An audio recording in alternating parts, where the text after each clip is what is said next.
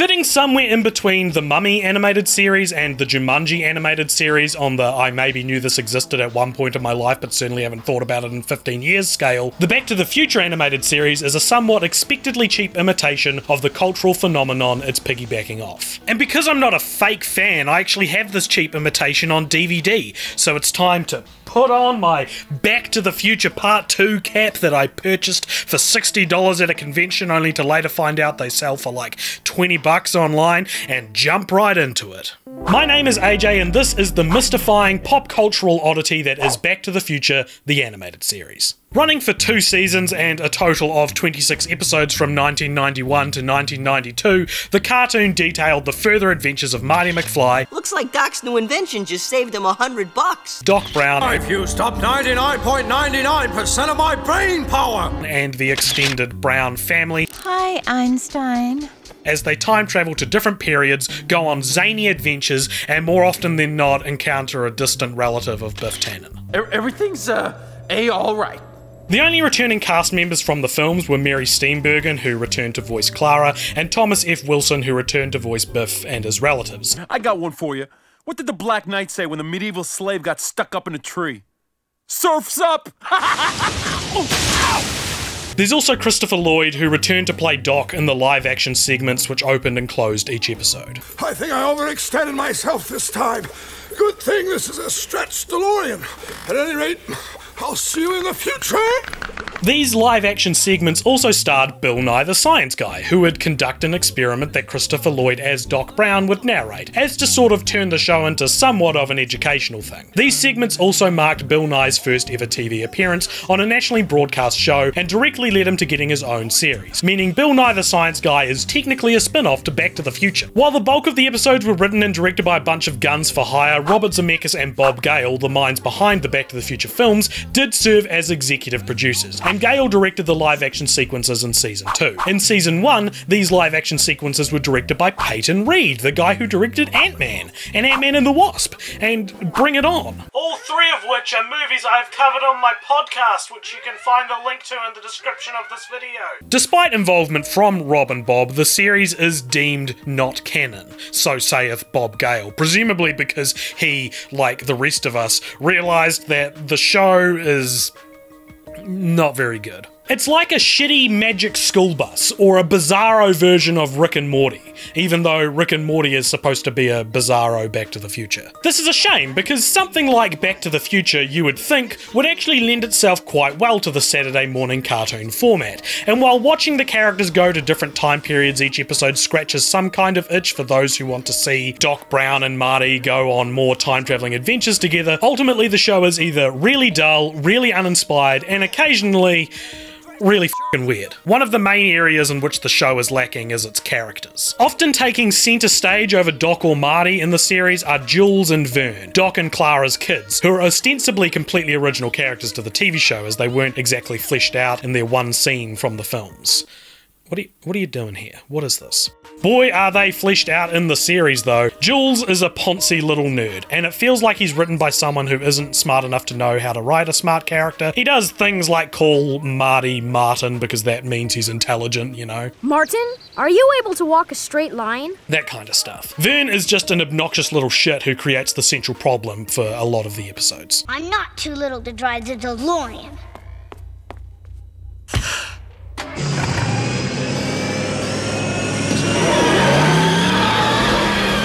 Perfect. Doc in the cartoon is voiced by Dan Castellaneta, who is of course mainly known for playing Homer Simpson as well as a whole bunch of other Simpsons characters. And he also replaced Robin Williams as the genie in The Return of Jafar and the Aladdin TV series. For the most part, Castellaneta does a good job at a Christopher Lloyd impression. I know how you feel, Vernie. Oh, oh.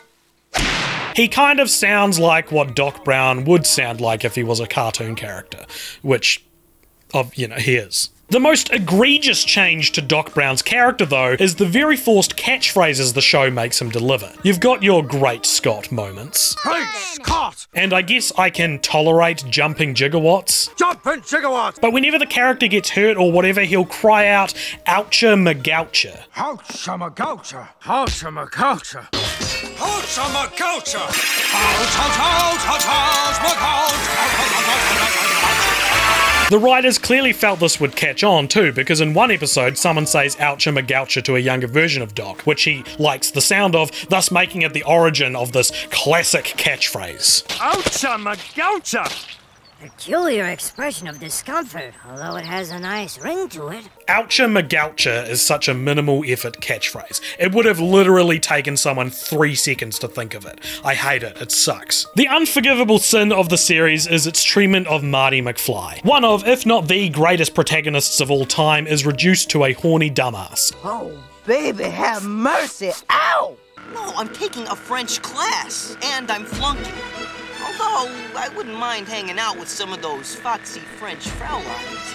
Oh, I agree, Doc. Totally awesome. Gone is his quick thinking and problem solving skills. Now he's a comically stupid character who, worst of all, isn't very loyal to Jennifer, the woman he knows for a fact he's going to marry one day. Although I guess the future isn't written yet, so Marty can feel free to wreck his love life. Because whenever he travels to a new time period, he'll try to get his frick on with like a 13th century woman or a dinosaur. I'm just kidding about the dinosaur, but honestly, that's not actually that far away from what the show would try and attempt. Whether or not Marty and Jennifer are actually together depends on the episode and whether or not she's in it, which reduces their once time spanning love story to more of a casual will they, won't they.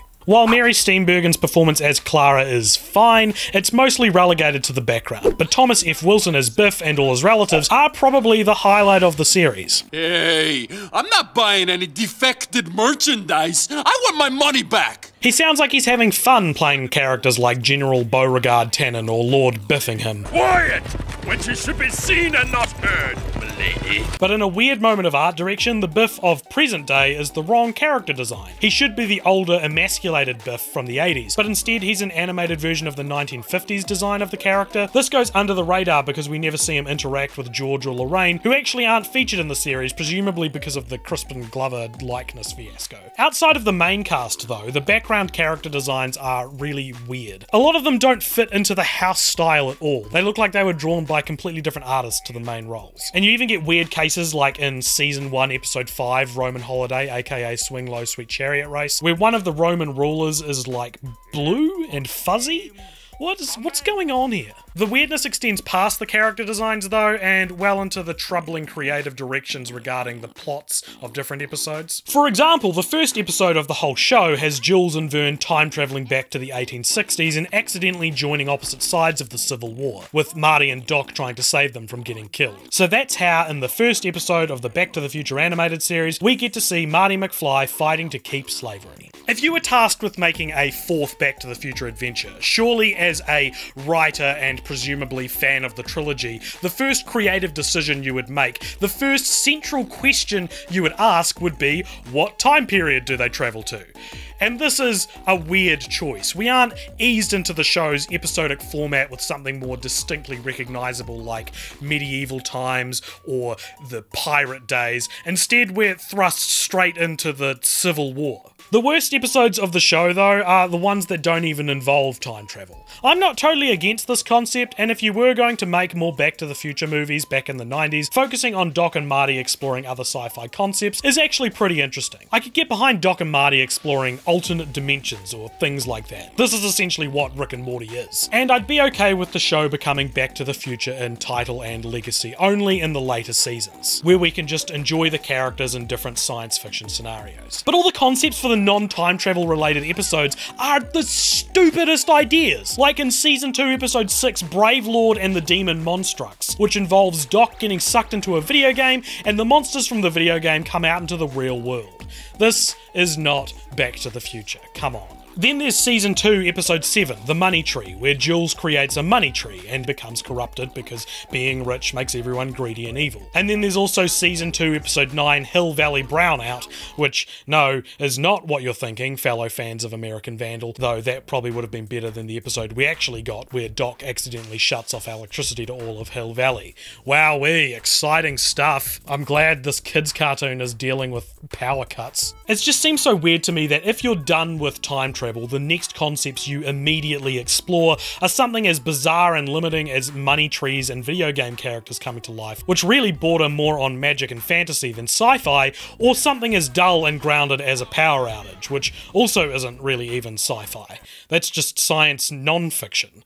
There's no on brand middle ground here. We either betray the tone of the series or we do something really boring. Still, I'd be lying if I said I didn't enjoy certain aspects of the show. There are some episodes that brush with what an optimum version of a Back to the Future cartoon would be, with some interesting concepts and creative ideas, and some of them maybe even would have made a half decent fourth film. Maybe. Probably not. I'm, I'm glad it's a trilogy. In season 2, episode 8 of Vern by Any Other Name, Vern travels back to the 1880s to try and convince his parents not to name him Vern because he thinks it's a dumb name. But he causes a rift between Doc and Clara and ends up having to nearly deliver himself as a baby when Clara goes into labour. But I don't think he'll get here in time. In time? In time for what? For the baby. To me, this is like a downsized, lower stakes version of the films. Vern's motivation is petty, sure, but he's a little kid, and it's still fundamentally about accidentally butterfly affecting your own birth, and the ending almost gets kinda heavy. It really felt like a shortened, child friendly version of the plot structure of the classic trilogy. It's a good example of the spirit of Back to the Future if it were reduced to 22 minutes. In Season 1, Episode 8, Batter Up, Marty, Jules, and Vern travel back to 1897 to help one of Marty's ancestors, Pee Wee McFly, achieve a successful career in baseball. This struck me as a slightly more nuanced episode as well, because 1897 isn't a particularly theatrical time period to travel back to, much in the way 1955 from the first film is more of a staging ground for a story about the characters, as opposed to the sequels which feel more about the genre pulp of their respective time periods, like 2015, which was the future, or 1885, which is the Old West. This episode also had the whole helping out a relative angle, which is totally within the narrative language of Back to the Future. There's also some cool universe expanding stuff in the series which I appreciated. The characters now have both a DeLorean time machine and a train time machine, which means one person can get saved by another person if they get lost in time without them. And if you were going to try make time travel safer, then it makes sense to build more than one time machine. One of the coolest scenes in the show, though, is in Season 1, Episode 11, Gone Fishing, where we see a mini flux capacitor, which Vern uses while inside a barrel going off the edge of a waterfall. The barrel is then repurposed as its own time machine, as the flux capacitor is activated by the velocity of the barrel falling and reaching 88 miles per hour, meaning he doesn't fall to his death. Again, this is the kind of rare life or death high stakes creative stuff you see in the series, which actually would have been really cool to see in a film. This moment in particular is the closest the series gets to the lightning rod on the clock tower stuff from the first film. Anyway, while there are some shining lights in the Back to the Future animated series, I would ultimately regard it as a failed experiment. A true example of a forgotten pop cultural relic, where the fact that it exists is more interesting than the show itself, and the fact that I own it on DVD is way cooler than actually watching it. It's something I can display on my shelves so that when my friends come over, they can look at it and be like, What? I didn't know this existed! Can we watch an episode? And I can be like, Eh, that's not very good. Thank you so much for watching this video. I hope you enjoyed it. Please leave a comment below and let me know your thoughts on the Back to the Future animated series. Please be sure to subscribe to the channel for more and thank you also to my patrons for supporting the channel, the podcast and the videos. Head on over there yourself if you want to check it out.